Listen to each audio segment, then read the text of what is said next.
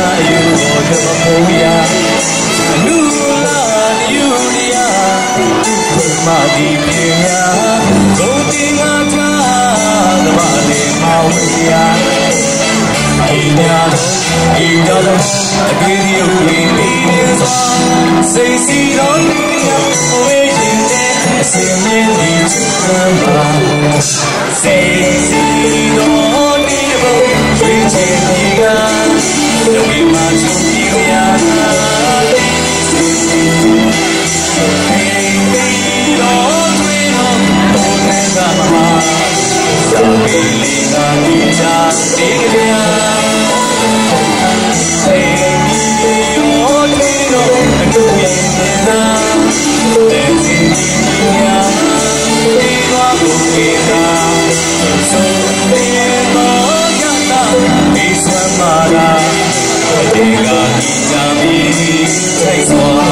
谜。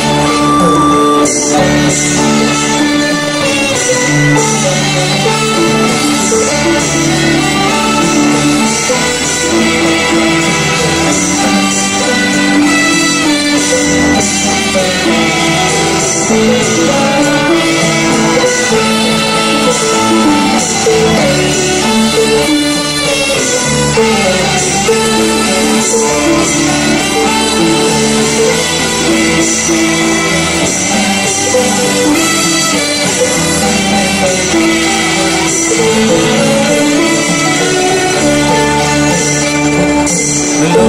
လာ